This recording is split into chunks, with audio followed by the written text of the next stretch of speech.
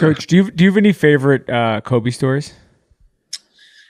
Yeah, you know, uh, a number of them. The best one, or one of the best ones, was you know when we uh, were starting to build a culture uh, at uh, USA Basketball. And he, Chauncey Billups, and Jason Kidd were added to add uh, veteran leadership to LeBron and Carmelo, and uh, you know those those guys who were great guys.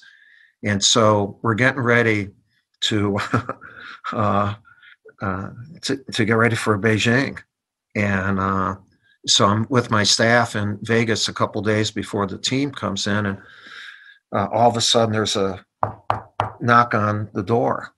Just two days early, and it's Kobe. He said, "Coach, can can I talk to you for a minute?" And I said, "Certainly." So we went to a private room, and I, I said, "What do you need?" He said, "I I, I need to ask you a favor." And I, I said, "Yeah, what what is it?" And he said, "I want to guard the best perimeter player on every team that we play. Now he's the NBA scoring champ. He's the best player in the league at that time. He had seven 50 point games that year. And he he knew that he would have to change a little bit and be a leader. And and but he says I, I you know I want to guard the best perimeter player. And then he pauses and you know his eyes he and jordan had the same had the same eyes they killed you with their eyes and and he leans forward and he said, Coach, I promise you I'll destroy him.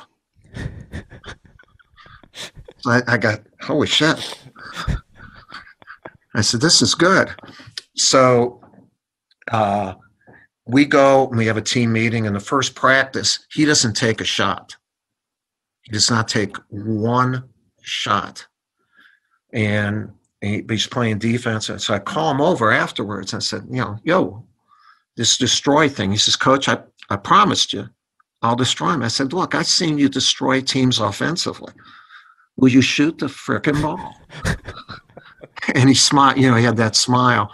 And he said from then on, I was the only coach ever to ask him to shoot.